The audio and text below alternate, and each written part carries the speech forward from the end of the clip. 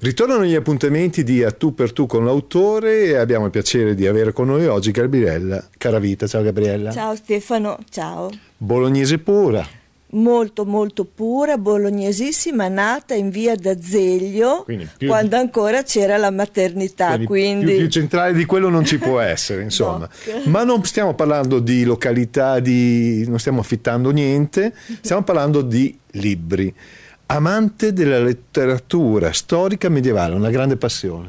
Sì, mi è sempre piaciuta questa cosa, un argomento che mi ha sempre interessato fin da ragazzina, una cosa quasi inspiegabile perché è come se io fossi vissuta a quei tempi, magari in un'altra vita, e quindi anche mm, i viaggi che, che faccio abbastanza di frequente si dirigono verso castelli. Beh, è bello questo perché eh, la memoria è fondamentale e poter raccontare la memoria agli altri crea ulteriore memoria, quindi eh, sono cose veramente interessanti.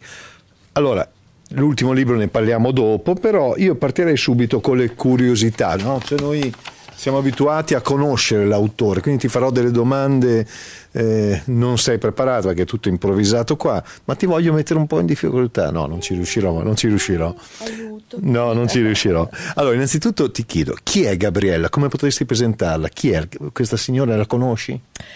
Ma Intanto sono una persona che ama stare in compagnia con persone comunque che mi danno della serenità.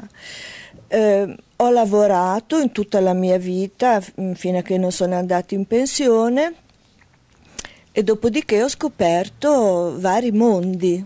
Eh, dopo si, si, apre uno scenario uno veramente scenario ampio e completo. Eh? Veramente inesauribile e quindi ho fatto tante cose, mi sono dedicata anche al teatro, ho fatto secondo me delle belle cosine, insomma, col teatro dell'Argine e mm, mi sono dedicata alla scultura, sempre con eh, un insegnante che mi ha appoggiata e poi pian piano ho detto ma perché non eh, scrivere qualcosina, visto che non mi, pia- non mi, piace molto uscire tutti i giorni, stare anche un po' in casa mi aveva incitato un po' a scrivere. Beh, questo, aver scoperto queste arti è una gran bella cosa, anche perché poi diventa un fatto di condivisione, come dico sempre, quindi sì. è importante. Fatto molto tranquillamente, Beh, vabbè, quindi è, ecco, quel... senza scopi commerciali. Molto diciamo. spontanea e sincera. Eh, esatto, infatti. Senti, cosa leggeva e cosa legge Gabriella ora? Allora, innanzitutto ehm, sempre libri sulla storia medievale, anche su personaggi famosi ehm, come Federico II, poi anche i tempi dei Romani, che è ancora prima del Medioevo.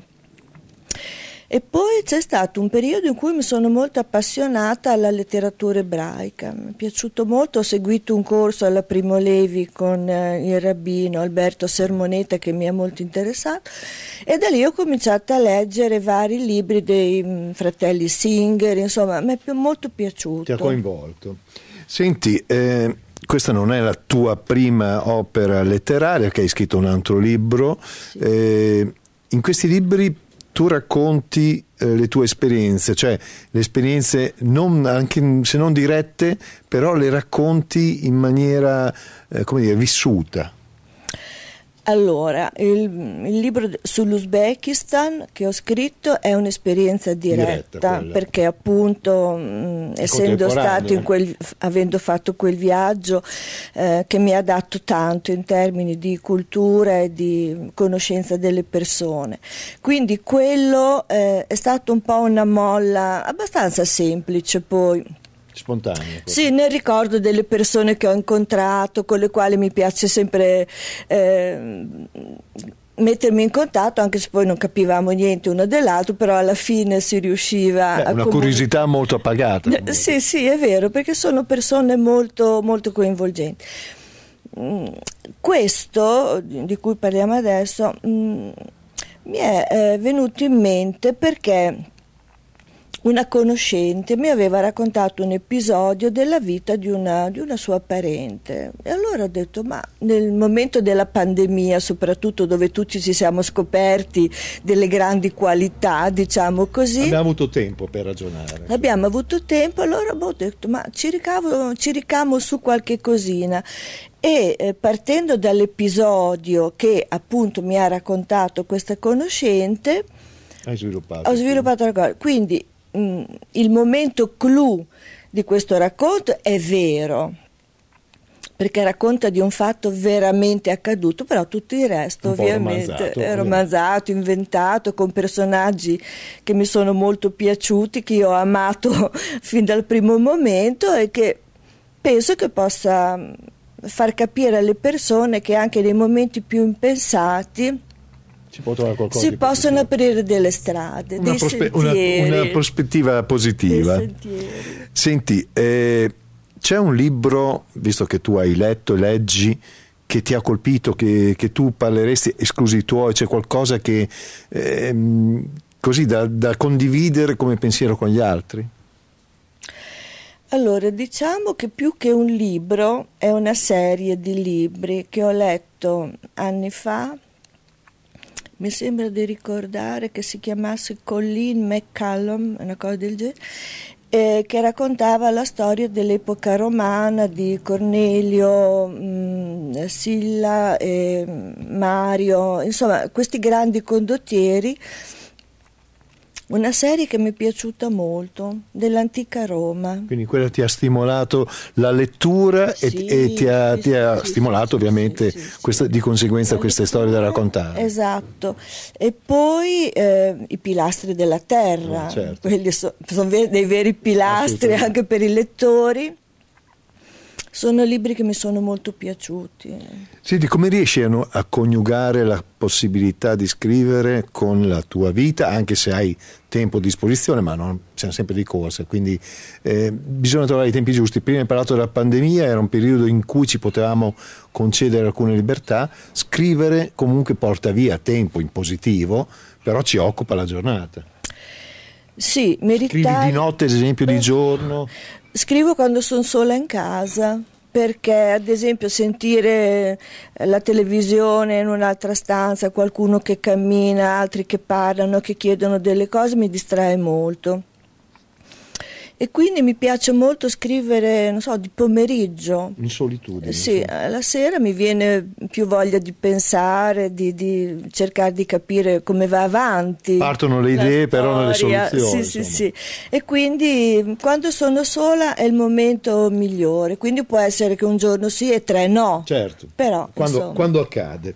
Eh, c'è una scrittrice, uno scrittore che è diventato determinante nel stimolarti questo, un po' l'hai detto prima, quando hai raccontato di questi racconti legati all'antica Roma, eccetera.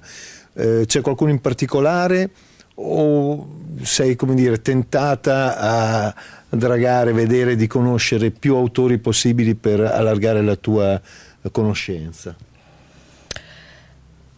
Ma devo essere sincera, ripeto che eh, essendomi molto appassionata alla storia ebraica, come scrivono i singer a me piace molto. Ti ha coinvolto molto. Sì, perché sono molto descrittivi e a me piace molto descrivere il personaggio, il sì, com'è fisicamente, come si comporta, come si veste, come agisce e loro mi sono molto piaciuti. Beh, anche perché questo è un modo di, di scrivere che ci aiuta un po' a scrivere nella mente del lettore come il personaggio, quindi descrivendolo, facendolo sì, vivere in prima sì, persona. Infatti... Mh, mm, eh, la cosa che a me piace molto eh, quando parlo con le persone che hanno letto una delle mie piccole cose è quando mi dicono, sai Gabriella, mi sembrava di essere lì.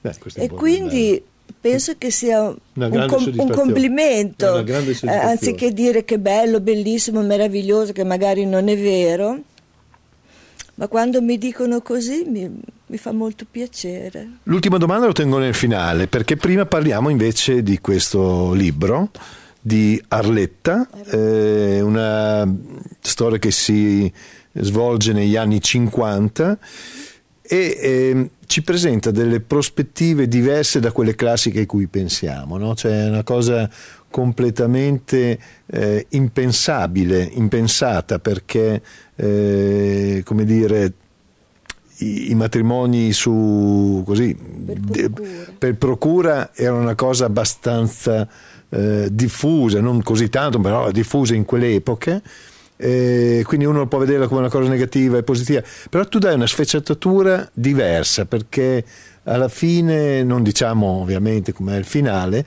però ci aiuta a capire come anche un problema può diventare una risorsa o comunque può essere accettato. Sì, perché in questo caso il problema sorge proprio quando le risorse sono finite. Certo. Quindi eh, nell'ambiguità di questo mondo che era promiscuo fra il, il possidente terriero con eh, l'ambiente contadino, nel quale comunque si mescola molto volentieri questa mia protagonista. Ecco, ehm, lei accetta passivamente una situazione che all'inizio le può anche sembrare abbastanza di convenienza, poi a un certo punto si trova in un vicolo cieco ma ormai la frittata è fatta, come si suol dire, e comunque alla fine riesce a trovare una sua soluzione impensata alla quale non avrebbe mai mh, pensato nella sua vita. Eh, eh, esatto, e prospettandosi questa nuova vita, lei ci si butta. Beh, diciamo che è una ribellione silente, no? cioè, in qualche modo, perché sì. eh, oggi parliamo di, di contrasti, di... siamo tutti in opposizione. Invece, ecco, anche in un aspetto negativo la protagonista va a trovare le positività che poi gli aiuteranno ad avere una vita un po' meglio di quella che si aspettava. Sì, è quello, è quello che spera lei, perché trovandosi in un paese poi straniero... Sì, parliamo dell'Argentina. Dell'Argentina con zero prospettive di tornare indietro perché dopo quel pasticcio che aveva combinato insomma e quindi eh, si trova eh, catapultato in una situazione in cui deve prendere in mano la sua vita, cosa che prima la sua vita era stata presa in mano da dagli altri sempre. Certo. Per cui ha dimostrato comunque grande coraggio alla fine perché è una ragazza un po' viziata, una ragazza che non ha mai avuto problemi nella vita e poi a un certo punto con tutte le porte chiuse deve farne fronte. Esatto. Eh, vi sentite ancora con Arletta?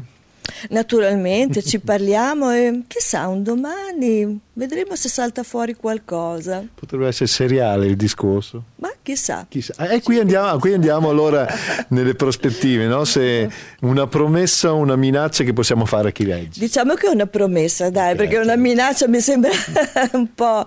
Dai, vediamo, vediamo cosa succede. Intanto ci potremo trasferire in Argentina, che è un bellissimo paese, quindi... E lì va nella tua vena descrittiva, no? la cosa di esatto. conoscere il mondo ci vado pure fisicamente.